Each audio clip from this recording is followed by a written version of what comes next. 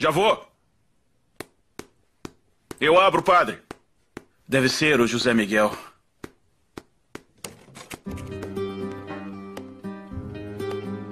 Oi, Felipe.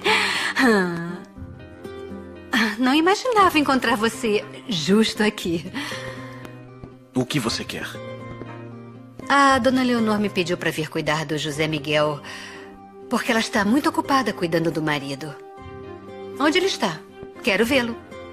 É, desculpe decepcioná-la. Mas José Miguel já foi. Ele não está.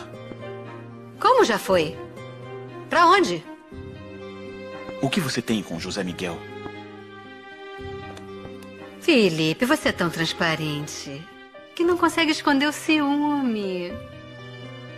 Não seja bobo.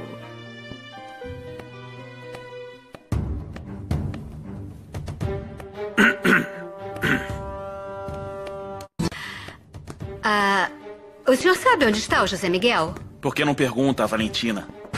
A Valentina? É. Ela com certeza sabe onde está José Miguel Montesinos. Muito bem. Então tá. Com licença.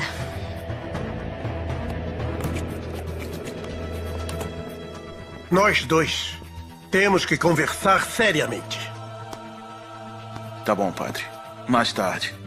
Agora eu tenho que voltar para o centro de saúde. Felipe, temos que conversar, Felipe. Mais tarde, padre.